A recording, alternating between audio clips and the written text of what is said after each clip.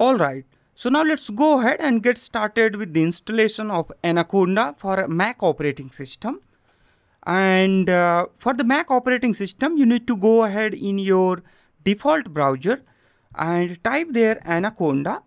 Okay, so once you type there the Anaconda, you will get this search result. And there I'm gonna click on this installation. Once you click on this installation, you will see here a detailed documentation about the installation of the Anaconda. And I'm going to put here on the installation on Mac OS.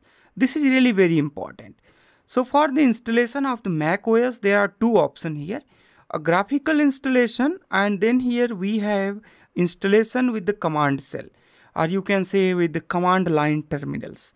So I'm gonna prefer with the command line installation because after the uh, iOS update, uh, iOS Catalina update, with the graphical user interface installation, Anaconda don't get actually, and Anaconda doesn't get uh, all the permission to run it on the Catalina operating system. So here I'm gonna prepare it with the with the command line. So for the command line installation, you need to click on here Mac OS installer. So click on this Mac OS installer. It will uh, it will lead you to uh, another another web page. And there you go. You click on this download. And then here we are gonna click on the 64-bit command line installer. So once you click on this one it will start downloading this uh, uh, command line installer okay. It might take a little time and uh, before that let's go ahead and go back to that installation instruction. This installation instruction is really very important. Okay. So once it its download get completed i think it's just uh, uh, just a few seconds left to complete this installation. Then we need to copy this bash download and the anaconda this one so the download is here a default directory where this download of anaconda happens.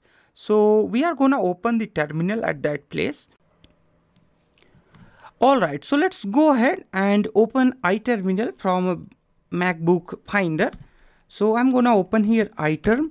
Once you open this iterm then I'm gonna change the directory to downloads. And there the, in the downloads we have the anaconda there and here is instruction to install this command line package. Copy it and paste it here. So once we paste it here we hit the enter and then then it displays the license of the anaconda. You need to keep hitting the enter so that we can read and navigate to all over through this license. And at the end of this license we need to accept this license where we need to hit the S. So yes and now this says that this is a default location to install this Anaconda 3 on this Mac OS. So let's go ahead and hit the enter. And now it has started to install this Anaconda at this particular location. So we need to wait a little and uh, it takes some time to install it. So let's go ahead and wait for that time. All right. So now you see here installation is done for the anaconda in mac os now let's go ahead and see here the next step for the installation.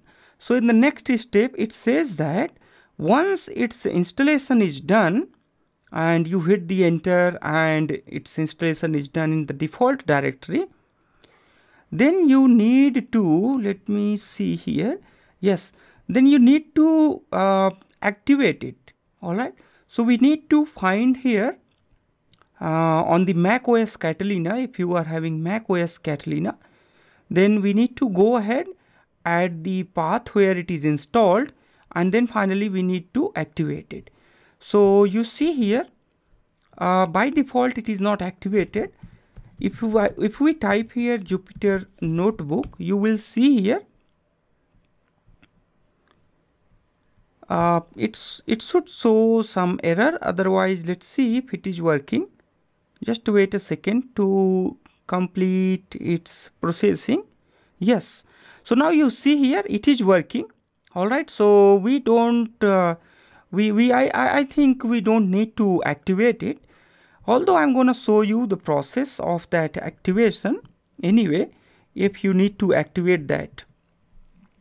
So for the activation you see there is default directory uh, where we have installed it let me show you the default directory. So that default directory is here. So this is default directory. So I'm gonna just copy it. Okay. So we can copy it. And once I copy it it says that we need to put here source and then the directory where it is installed. And inside this bin we need to put here activate. So once you click on this one now you see here in the base here anaconda base is activated. Now you can do uh, you can open your jupyter notebook now as well. So in both ways it should not uh, uh, it, it should not show you any error to complete its installation. And once it is installed then you need to go ahead at your desired directory. Currently we are in a downloads uh, directory. And then you need to click on this new and with a python 3 then you can get started with this jupyter notebook and now you can do the coding and other things. All right. So apart from this in the next lessons we will uh, i'll take you through how you can get started with the coding in the jupyter notebook. So this is all about in this lesson. Thanks for watching. I'll see you in next lesson